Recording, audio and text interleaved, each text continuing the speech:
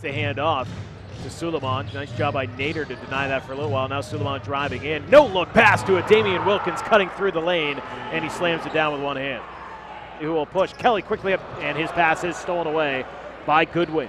Goodwin quickly to the corner. Three ball. Sulaimon got it. Big bucket there, and it's a one point game. Push it after he gets the rebound as opposed to a quick outlet. Oh, nice job there by Miller as no help defense comes along as Ryan Kelly got caught guarding two guys. It's uh, back to a three, and it's 31 points total for them. Sulaimon drives in. Wow, he took a big hit and scored. No foul call, but what a strong move on Dallas Lauderdale. They've hit.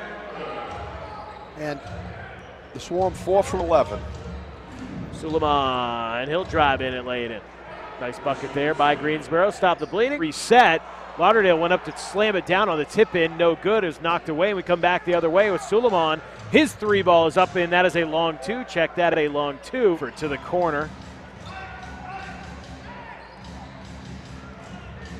Sulaimon dribbling through traffic up from 12 feet and drains it. And we have a two point game than what you have seen from the Swarm. It certainly helped them this evening. Here's Sulaimon, corner three for the lead. Got it.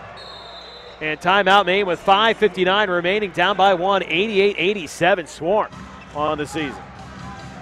Sulaimon driving in. His shot is good. A beautiful floater by Sulaimon, and it's a four point lead for the Swarm.